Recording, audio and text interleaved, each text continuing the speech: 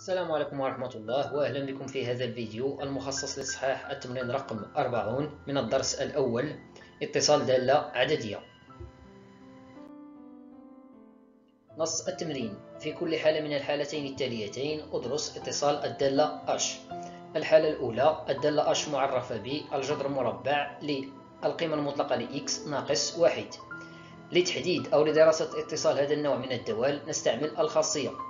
إذا كانت f دالة متصلة وموجبة على مجال E فالدالة المعرفة بالجذر المربع ل f متصلة على المجال E.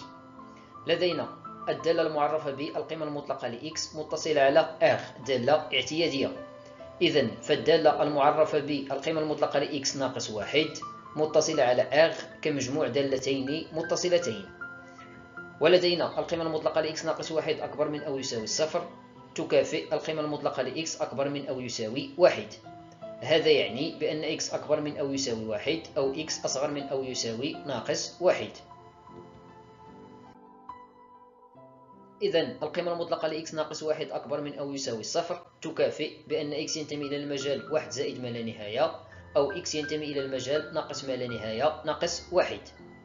إذا بما أن الدالة المعرفة بالقيمة المطلقة لإكس ناقص واحد متصلة وموجبة على كل من المجالين ناقص ما لا نهاية ناقص واحد وواحد زائد ما لا نهاية. فهذا يعني بأن الدالة أش المعرفة بالجذر المربع للقيمة المطلقة لإكس ناقص واحد متصلة على كل من المجالين ناقص ما لا نهاية ناقص واحد وواحد زائد ما لا نهاية. الحالة الثانية اش معرفة ب اش لإكس تساوي سينوس الجذر المربع لإكس أس 2 زائد واحد. من أجل دراسة اتصال هذه الدالة سنستعمل مركب دالتين. نضع جي لإكس تساوي سينوس إكس وإف لإكس تساوي الجذر المربع لإكس أس 2 زائد واحد. إذن نحصل على اش لإكس تساوي جي rond إف لإكس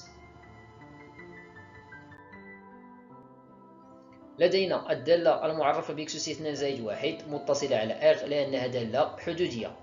ولكل إكس ينتمي إلى R إكس أس 2 زائد واحد أكبر من أو يساوي الصفر. إذا انطلاقا من هذين الشرطين نستنتج بأن الدالة F المعرفة ب الجذر المربع لإكس أس 2 زائد واحد متصلة على R. كذلك الدالة J دالة السينوس هي دالة اعتيادية متصلة على R. ولدينا J ل R ضمن R لماذا؟ لأن صورة مجال بدالة متصلة هو مجال. إذا باستعمال مركب دالتين نحصل على الدالة H المعرفة بسينيس الجذر المربع لإكس 2 زائد واحد متصلة على R. في الأخير لا يسعني إلا أن أتقدم لكم بجزيل الشكر على حسن الانتباه والمتابعة وإلى قادم الفيديوهات بحول الله.